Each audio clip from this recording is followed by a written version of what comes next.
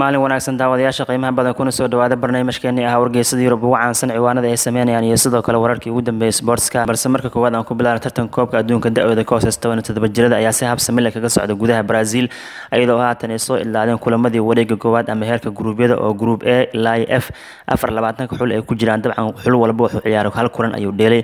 Haddii aan firin dabcan kulamadan waxaa la bilaabay ciyaaristooda lix iyo labaatankii octoobar ayaa la bilaabay. Saddex maalmood ka hor gruub a waxaa bilaabeen brazil oo martigelinaya tartankan waxay afar gool iyo hal kaga badiyeen xul kubadda cagta canada. New zealand oo gruubkan kula jiraan waxaa ka badiyeen xulka angola oo qaaradda afrika matalan waxaana looga badiyey laba gool iyo hal sidaa darteed waxay ka dhigantahay brazil oo martigeliyaasha guul inay ku furteen iyo angola oo dabcan qaaradda afrika matalan guul inay gaareen. Gruub b markaan firino kulamada isla lix iyo labaatankii octoobar la ciyaaray waxaa ka mid ah nigeria oo afrika matalan toban iyo todoba jiradood waxay afar gool iyo laba kaga badiyeen xulka hungary halka ecuadoran ayagana laba iyo hal ay kaga badiyeen australia. Sidoo kale gruub c markaan firino ciyaarihii labaatan iyo todobadii octoobar faransiiska waxay laba gool iyo ebar kaga badiyeen xulka jili halka koonfur korean ee laba gool iyo hal kaga badiyeen xulka haiti. Gruub d haddii aan firino kulamadii la ciyaaray labaatan iyo todobadii octoobar ciyaaro xiise badan ayaa la dheelay xulka senegal oo qaaradda afrika matalan waxay ku joogjoogsadeen mareykanka ama united states waxayna kaga badiyeen afar gool iyo hal ayay kaga badiyeen. Jabaanna waxay ka naxsadeen netherland oo saddex gool iyo ebar ayay kaga badiyeen toban iyo todoba jirada netherland gruub f haddii aan firino kulamadii la ciyaaray ugu dambeeyay waxay ahayeen spain iyo argentina. Labada xul ee awooda badan waxay ku kala baxeen barbardhac eber eber ay ku kala baxeen. Laakiin gruubkan xulka ku jiray cameroon ee awooda badan ee qaaradda afrika matalayeen waxaa ka naxsadeen xulka tajikistan. Cameroon waxaa looga badiyay hal gool iyo eber waa layaabkii ugu weyn ilaa haatan laga diiwaangeliyey koobkan toban todoba jirada gruub f ayaa ugu dambeeyay kulamada la ciyaaray wejigii koowaad ee heerka guruubyada talyaaniga waxay shan gool eber ku xaaqeen xulka salomon island waxayna ahayd ciyaar xulka talyaaniga iska baashaaleen halka baragway iyo mexican eber iyo eber ku kala baxeen. Maadaama wejigii koowaad ee guruubyada ay soo ilaadeen caawa waxaa la anba qaadi doonaa wejiga labaad ee guruubyada waxaana bilaabi doona haddii aan firino gruub ee kulamada jira angola waxay soo dhaweyn doonaan canada iyadoo angola kulankii koowaad ay badiyeen haddii caawa guuleystaan automatically u soo bixi doonaan. Kulankan wuxuu soo geli doonaa koo iyo tobanka habeenimo ee xilliga geeska afrika. Brazil oo koobka martigelinaya kulankii koowaadna afar iyo hal kaga canada waxay casuumi doonaan caawa xulka new zealand kulan soo geli doona labada habeenimo ee xilliga geeska afrika ama saqda dhexe. Ciyaartan haddii ay braziliyaanka badiyaan ayagana wareega xiga ee bugbaxda ay iska xaadirin doonaan. Markaan idin la wadaana jadwalka maanta ciyaaraha la dheeri doona ee qaaradda yurub kulamo miyaa jiro kulamo kala duwan ayaa la ciyaari doonaa koobab maxali iyo sidoo kaleeto kulamada horyaalada yurub. Haddii aan firin ingiriiska waxaa la ciyaari doonaa e f l cab ama karabay cab wareegiisa saddexaad. Kooxda barton albion waxay soo dhaweyn doontaa naadiga leicester city kulan soo geli doona tobankii afartan iyo shan fiidnimo xilliga geeska afrika. Waqtigaasoo kale kooxda lagu magacaabo crowley town oo heerka hoose waxay soo dhaweyn doontaa colchester united everton waxay qaabilaysaa watford man city waxay soo dhaweyn doontaa southampton halka oxford united ay qaabili doonto sunderland. Dhammaan kulamadaasna waxay soo geli doonaan tobankii afartan shan daqiiqo ama shan saac oo rabi dhiman xilliga geeska afrika. Haddii aan firino spanish la liga laba kulan ayaa la ciyaari doonaa xiisa badan caawa. Deportivo la corona waxay soo dhaweyn doonaan kooxda atletic madrid kulan soo geli doona sagaalka fiidnimo ee xilliga geeska afrika. F c barcelona oon toddobaadkan bilowgiisa ciyaareen kadib markii kulanka el clasico ka baaqdane waxay caawa garoon cam new ku soo dhaweyn doonaan kooxda real valladolid kulan soo geli doona kow iyo iyo rubi ama shan saac iyo rubi habeenimo ee geeska afrika ayuu soo geli doonaa. Italian serie ada laba kulan la ciyaari doonaa kooxda barm waxay soo dhaweynaysaa naadiga verona kulan soo geli doona sagaalka fiidnimo ee xilliga geeska afrika. Halka kooxda brescia ay soo dhaweyn doonaa naadiga inter milan ciyaar soo geli doonta kow iyo tobanka habeenimo ee geeska afrika. Haddii aan gudaha jarmalka lama ciyaari doono bundesligaha jarmalka laakiin waxaa la dheli doona d f cab ama koobka maxaliga kulamada xiisaha badan. Waxaa ka mid ah laba kooxood oo dabcan ka mid ahaan jireen kooxaha jarmalka ugu awooda badan haatan heerka labaad ayay joogaan waana la isku aadiyey waa hamburg s v iyo v f v stuttgart oo ka mid ahaan jireen weligoodba kooxaha bundesligaha jarmalka ugu awooda badan haatan waxay ciyaareen horyaalka heerka labaad ee jarmalka ay ciyaaraan. Labadan kooxoodna waa la isku aadiyey mid ayaa laga rabaa waxayna dabcan iska hor imaan doonaan saacadda geeska afrika markii ay tahay sideedii iyo barfiidnim kooxda f c barmunjan waxay safar u tahay naadiga v f l bocam ciyaar soo geli doona tobanka habeenimo ee xilliga geeska afrika. Bal markaan aan fiirina b b c da beejkeeda gaarka ciwaanada ay sameynaysa ciyaartooyda ay taabanayaan waxaa ka mid a gareth bale sidoo kale garnet shaka lakaseta smolin haalan rodwell iyo ciyaartooy kaleeto. Qodobka koowaad haddii aan ku bilaabno ciyaaryahanka lagu magacaabo gareth bale ayaa la sheegay inuu kooxda real madrid isaga tegi doono wuxuuna aadi doonaa dhinacaas iyo bariga fog gaar ahaan naadiga jena kooxda lagu magacaabo shangai shanhu sida majalada maarka ay soo daawacday.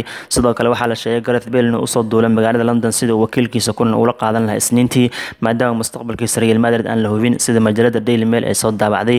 Laakiin kooxda real madrid waxay sheegtay bale safarka london inuu soo aado arrimo shakhsiyaad ama waxa loo yaqaano personal reason sida majaalada maarka ay soo qortay kooxda manchester united waxay xiise u qabtaa gacanta inay ku soo dhigtay ciyaaryahanka kooxda liil iyo faransiiska qadka dhex kaga ciyaar lagu magacaabo babakari samoro labaatan jir iyo ciyaaryahanka weerar kaga dheela kooxda olympic leon ee xulka faransiiska muuse dambelo saddex labaatan jir ah sida e s b n ay soo daabacday naadiga roma ayaa gebi ahaanba iska diiday gacanta inay ku dhigaan ama ay qaataan jack rodwell ciyaaryahankii hore ee man city xulka ingiriiska siddeed labaatan jir kaasi oo koox la'aan ah.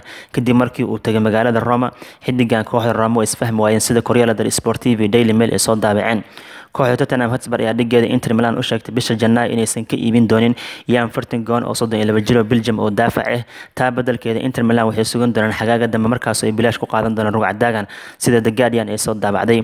Goolayaha kooxda southampton iska leedahay fraser foster oo soddon iyo kow jira laakiin haatan amaha kaga maqan oo celtic joogo wuxuu diyaar u yahay waayihiis inuu ka sii wato dhinacaasi celtic park wuxuuna diyaar u yahay mushaarkiisa inuu dhimo sida ay soo daabacday shabakada lagu magacaabo the scotsman.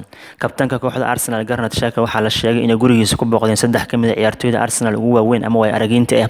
Inkastoo aan magacooda la sheegin waxayna kabtankan kala hadleen inuu isdejiyo kadib markii kulankii ugu dambeeyey ganariska taageerayaasha ay ku ooriyeen asigana aflagaado uu ku jawaab celiyey sida ay soo dabacay shabakada lagu magacaabo athletic. Dhinaca kale garnat shaka waxaa la sheegay maalmaha nagu soo foolo kulan inuu la qaadan doono madaxda ugu sareysa kooxda arsenal. Waxaana laga wada hadli doonaa ficilkii uu gudaha garoonka ka sameeyey markii la bedelay iyo wixii ka dhashay sida sky sports ee daawaceysa mustaqbalka shaka maalmaha nagu soo fool ayaa go'aan laga gaari doonaa.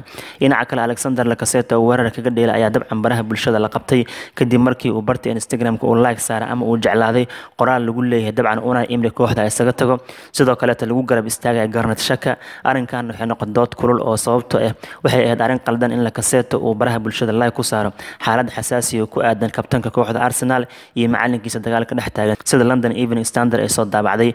Dhinaca kale kabtankii hore xulka ingiriiska kooxda newcastle united alan shrerer wuxuu leeyahay garnat shaka way ku adkaan doontaa dib inuu ugu soo laabto kooxda arsenal oo uu dabcan kasbado kalsoonida ciyaartooyda iyo kalsoonida taageerayaasha kadib markii asigoo kabtana uu dabcan aflagaado u geysto taageerayaasha sida ay soo daabacday majalada dasan daafaca ingiriiska chris smalling oo sagaal labaatan jira waxaa la rajeynaya markuu dhamaystay heshiiska amaahda uu kula joogo kooxda roma. Dhamaadka xilli ciyaareedkan dib inuu ugu soo laaban doono garoonka old trafford sababtoo ay kooxda roma dhaqaale ahaan ma awoodo smalling toos inay u iibsadaan. Mushaaraadkiisa xaddhaafkana ay bixiyaan sida ay soo daabacday sky sports. Kooxda napoli ayaa meesha ka saartay gebi ahaanba rajo kasta ay ka qabtay gacanta inay ku soo dhigaan weeraryahanka norwegianka erling haaland oo u ciyaara kooxda rb salisburg sababtoo ay waxay aaminsan yihiin maamulka napoli in wiilkan bisha janaayo uu ku biiri doono kooxda manchester united sida koryala del sportiv iyo tok ay soo daabaceen. Naadiga newcastle united ayaa kulan gaara la qaadatay weeraryahankooda braziliyaanka yolinton kaasi oo dabcan saddex labaatan jir xagaagii dhowaana afartan milyan oo boon kaga soo qaateen kooxda t s g hovenheim ee bundesligaha jarmalka ciyaarto newcastle maamulkooda waxay yolinton weydiisteen in qoyskiisa loo keeno gudaha ingiriiska loo keeno sababtoo ciyaaryahankan waxaa laga dareemay inuu hayo hilow ku aadan inuu qoyskiisa dib la midoobo tan iyo markuu imaado dalka cusub ee gudaha ingiriiska. Bandhig fiican ma sameynayo sidaa darteed xaaladiisa loo kuurgala awgeed waxaa la ogaaday faamilkiisa ninkan inuu u baahan yahay in loo keeno. Sida telegraf ay soo daawacday daafaca cameroneska kooxda liverpool u ciyaar yoel matib oo siddeed iyo labaatan jir ah.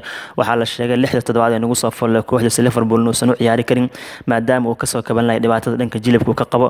Waxaana ugu daran kulanka tobanka november la ciyaareen liverpool man city inuu maqnaan doono sida london evening standard ay soo daawacday. Kooxda turkiga basigtaas ayaa sheegtay inay soo ileen doonto heshiiska labada sane amaahda oo ay liverpool kaga haysteen goolayaha jarmalka lorius carios jirkan waxaa loo sheegay janaayo inuu isku diyaaray dib inuu ugu laabto gobolka merseyside. Sida ay soo daawacday majalada turkiga lagu magacaabo takvim oo ay ka soo xigtay dasan kooxda tottenham hotspur ayaa la sheegay bisha janaayo inaysan suuqa geli doonin. Taa badelkeeda waxay jaanis siin doonaan dhalinyarada kooxdan ku sugan waxaana fursad la siin doonaa weeraryahanka toban iyo toddoba ee lagu magacaabo troy barrett oo ka tirsan xulka jamhuuriyadda ireland da-dooda iyo labaatanka sano sida star ay soo daawacday rugcadaaga kooxda liverpool qadka dhexe kaga dhila james miller ayaa sheegay inuu doonayo in kooxda liverpool uu la sii joogo inkastoo qandaraaskiisa uu ku egya dhamaadka xilli ciyaareedkan sida the guardian ay soo daawacday saddex ka mid a saraakiisha kooxda arsenal ayaa u safreen magaalada leeds si ay u daawadaan kulankii dhexmara leeds united iyo west brom ee ka tirsanaa championshipka laakiin madaxdan waxay la kulmeen niyad jab. Waxay u socdeen wiilka arsenal amaahda kaga maqan eden nikatah inay soo daawadaan laakiin labaatan jirkan kulanka maba la soo gelinbo. Sida atletic star ay soo daawaceen madaxdan waqtiga ka lumay garoonay tageen ciyaaray soo daawadeen wiilkay u tageenna garoonka lamaba soo gelinbo. Dhinaca kaleeto ciyaaryahankii hore ee kooxda sparis rafael vanderfart ayaa maamulka sparis ku booriyay inay gacanta ku soo dhigaan hakim ziyaaj oo lix labaatan jir oo morocco ayax qadka dhexe kaga dheelo. Rafael vanderfart waxaa la sheegay fariin qoraaleed inuu u diray gudoomiyaha kooxda sparis dani levi oo uu ku boorinaya inuu soo qaato hakim ziyaaj tok ayaa soo daabacday. Markaan aan eegna jaraa'idada talyaaniga ugu caansan dhaafsanay ciwaanada ay sameynay haddii aan fiirino Corriere dello Sportivo waxay coverka siiyeen kooxda Inter Milan. Waxay leeyihiin Inter Milan waxay diyaar u yihiin inay Brescia ka badiyaan si ay Serie A Talyaaniga hogaanka si ku ula wareegaan. Dhinaca kale Inter Milan maamulkooda way kulmeen madaxweyne Zanga iyo sidoo kale guddiga fulinta ninka ugu sarreeya ee Pepe Morata. Waxaa la qaatay bisha Janaayo ciyaartoy muhiim in kooxda lagu soo kordhiyo. Antonio Conte ballanqaad rasmi uu ka helay maamulka Inter Milan. Waxaa la dhahay mustaqbalka kooxda waa mid ifayo hore u socay natiijooyinkan Janaayo waxa u baahantay waa ku iibin doonaa. Frank Ribery ugu dambeyntii waa la ganaaxay kadib markii uu kala gamay ama uu riixay garsoorka labaad. Kulankii Fiorentina ilaa sii dhexmaray ciyaar laba iyo hal looga badiyay Viola. Ribery haatan waxaa lagu ganaaxay dabcan saddex kulan inuusan ciyaari karin Serie A Talyaaniga. Waxaa intaas u dheer rugcadaagan in lagu ganaaxay lacaga gaaraya labaatan kun oo euro waxaana looga digay mar dambe inuusan ku kicin ficil noocaas oo kale. Dhinaca kale kooxda Juventus culays xoogan ayaa ka diday kadib markii la sheegay Miralem Pjanic dhaawac soo gaaray wax weyn inuusan ahayn. Kulanka Genoa kaliya uu seegi doonaa. Toddobaadka dambena kooxda koowaad uu ku soo laabanaya. Douglas Costa uu soo laabto akhbaar kale oo wanaagsan kooxda Sarri uu hogaamiyo.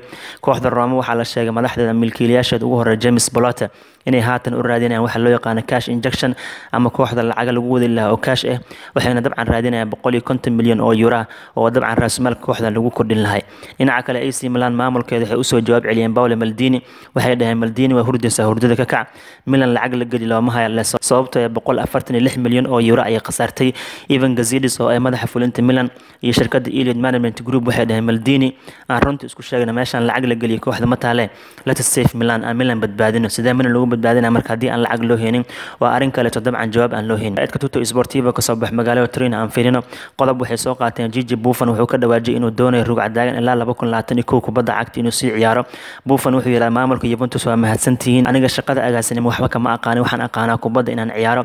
Sidaa darteed wuxuu ka baryay Buffon maamulka Juventus. Intii laga dhigi lahaa agaasin markuu xil ciyaareedkan soo ilaado in hal sano kale uu kooxda u sii ciyaaro oo goolayaha labaad sii ahaado marna la ciyaarsiiyo. Horyaalka marna Champions League la ciyaarsiiyo. Dhinaca kale Inter Milan caawa waxay la dheelayaan Brescia haddii ay guuleystaan hogaanka ay qabanayaan Pepe Morata wuxuu ku dhahay Antonio Conte.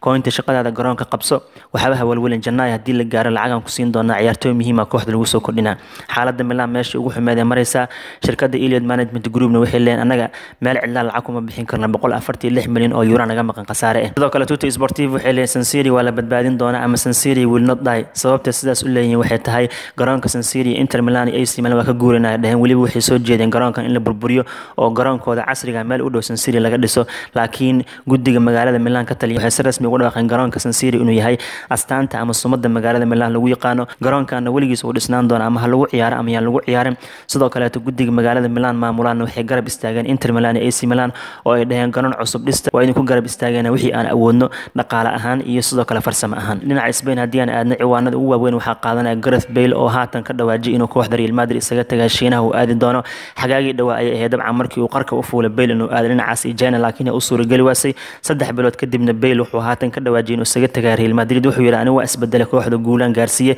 laakiin Zinedine Zidane dabeecadiisa habdhaqankiisa wax iska bedela ma sidaa darteed Isbaanishka dhan waxay leeyihiin Bale oo magaciisa suuqa ku soo celiyay. Sidoo kaleeto majalada Mundo Deportivo waxay soo daawaceen in kooxda Barcelona u baahantay in bisha Janaayo ciyaartoy iibiyaan weliba Barca waxay u baahan yihiin boqol labaatan afar milyan oo euro qasnadooda inay ku soo laabato. Samuel Umtiti Arturo Vidal Ivan Rakitic iyo sidoo kale ninka haatan kooxda ka maqan Philip Coutinho.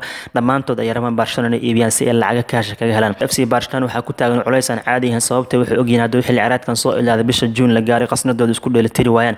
Inay ganaax kala kulmi karaan ama cadaadis xoogan ay kala kulmi karaan UEFA gaar ahaan nidaamka dhaqaale wanaagga Yurub ee kooxaha lagu kala hago. Yurub ciwaanada kale ee sameynayaan waxaa ka mid yaab Stam daafacii hore ee kooxda Manchester United xulka Netherlands oo dhawaan kooxda Feyenoord. Tababaro waa shaqada ayuu isaga tagay kadib markii ay dhacday macalinkan kulankii ugu dambeeyay bilowgii toddobaadkan in kooxdiisa Feyenoord afar gool eber ay kaga beesay naadiga Ajax yaab Stam toddoba bilood oo kaliya kooxda Feyenoord haya laakiin xaalkeeda ma wanaagsana sababtoo ay kow iyo toban kulan xilli ciyaareedkan dheeleen saddex kulan oo kaliya guuleysteen.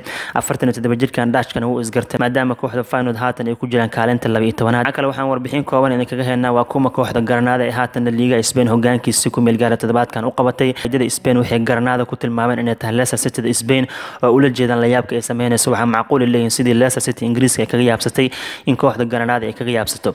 Afartan iyo lix sano kadib bilowgii toddobaadkan waxaa u suura kooxda Granada hogaanka la liiga Spain inay qabtaan.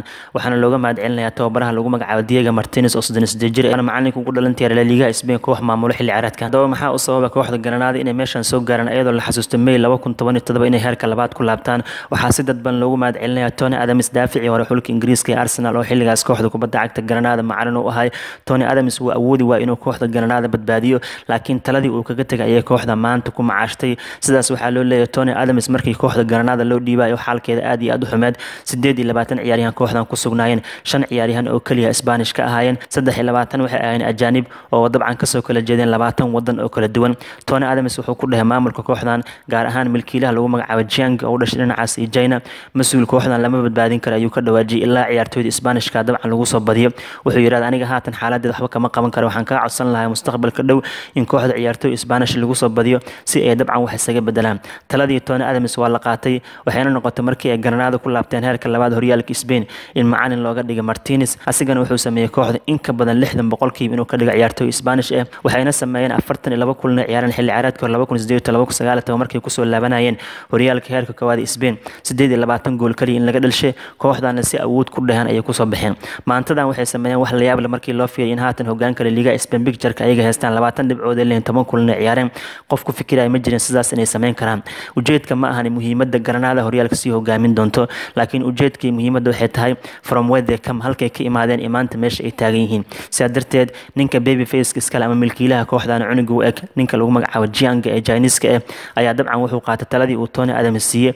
Maantana way ku macaasheen. Ninka lagu magacaabo jianka waa ganacsade kaasi oo iskale shirkado kala duwan gaar ahaan wuxuu leeyahay shirkada loo yaqaano hope group. Sidoo kaleetan wuxuu leeyahay kooxa ay ka mid yihiin naadiga barma oo sircada talyaaniga ciyaarto iyo kooxda jiniska ee lagu magacaabo gindangai livan waxaa intaas u dhan inuu iska leeyahay koox n b a ama basketballka ciyaartay oo lagu magacaabo minnesota timberwolf gunaanadkeena barnaamijka waxaan leenahay garanaada halkan may sii joogi doontaa hogaanka may sii hen doonaa si jawaabteeda waqtiga ayaa dabcan loo deyn doonaa. Laakiin waxaa wax weyn ee garanaada markii ay toddobaadkan hogaanka la liigaha spain qabteen in qoraayaasha iyo jaraa'idada iyo shabakadaha spain ugu caansan xog ka raadiyaan garanaada annagana idiin soo gudbino taasi ayaa micno weyn sameynayso. Haddii aad tahay saaxiib cusub fadlan janalkayga sabscribe saar like iyo share iyo comment kama marno. Asalaamu calaykum waraxmatullahi